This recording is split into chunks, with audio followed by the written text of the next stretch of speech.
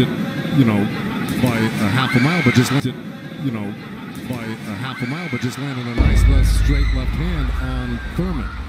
And Thurman started. Manny Pacquiao.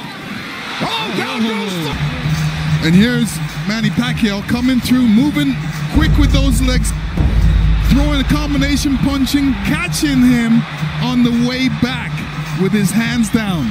All right, here we go. Look, there's Pacquiao. He rushing in right there, boom, and there's the hook that dropped him, but preceded by a straight left hand to the belly.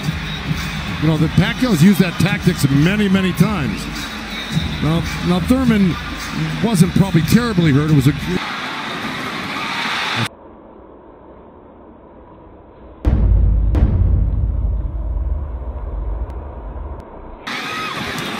See? Now the, See? now the response by Manny Pacquiao. See, Manny knows one thing. He's flicking out his right hand. That always precedes and, and oh boy, he's flicking out his right hand. That always precedes and, and oh boy, there's a headbutt. Either that or a punch, but it may have been a headbutt. I missed it. Oh, can figure out what exactly what happened.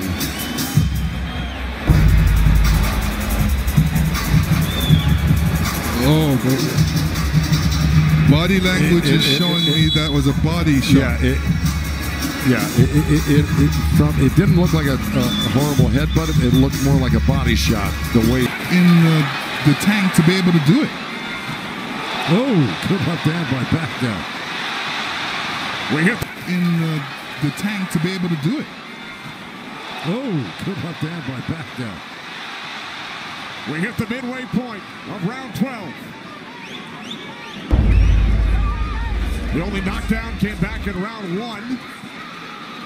Pacquiao knocking down Thurman late in the round.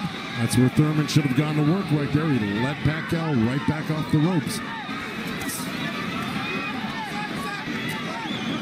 Even even if